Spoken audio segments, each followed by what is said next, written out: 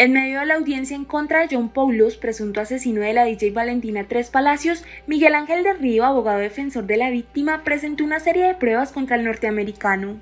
La primera prueba clave es la maleta azul en la que la DJ fue hallada. Según Michael Bonilla, un conductor de plataforma, cuando recogió a Paulus en el aeropuerto El Dorado, vio que a la maleta le faltaba una rueda. Al parecer sería la misma maleta en la que encontraron a la DJ. Además, María Silvana, amiga de Valentina, aseguró que en una fotografía enviada por WhatsApp aparecía la maleta con esas mismas características sobre una cama.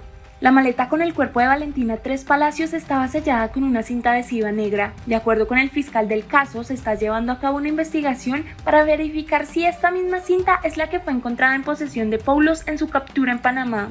La tercera prueba clave sería una cobija gris que Paulos habría utilizado para tapar la cabeza de la víctima al salir del edificio. El abogado del río aseguró que este elemento fue encontrado en el contenedor de basura.